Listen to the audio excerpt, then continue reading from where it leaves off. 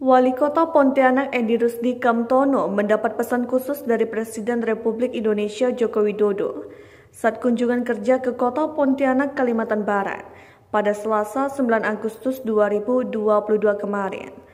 Dari penuturan Wali Kota Pontianak Edi Rusdi Kamtono bahwa pesan yang disampaikan oleh Presiden Jokowi saat makan siang di restoran Pondok Kakap Pontianak, Kalimantan Barat agar wali kota Pontianak bisa terus melanjutkan penataan kota Pontianak sehingga lebih maju dan ekonomi tumbuh pesat serta nyaman bagi warganya. Menurutnya, latar belakang dirinya sebagai arsitek telah diketahui Jokowi. Presiden Jokowi menilai kota Pontianak terlihat indah, bersih, dan lebih tertata. Edi menambahkan dalam kesempatan itu, ia menyampaikan ucapan terima kasih kepada Presiden Jokowi atas dukungan pemerintah pusat, terutama Kementerian Pekerjaan Umum dan Perumahan Rakyat atau PUPR untuk percepatan pembangunan. Sebagai catatan, gelar arsitek bangun kota disandang Edi Rusdi Kamtono kala dirinya maju pada pemilihan wali kota Pontianak 2018. Edi merupakan alumni Universitas 11 Maret, Surakarta jurusan Teknik Arsitektur.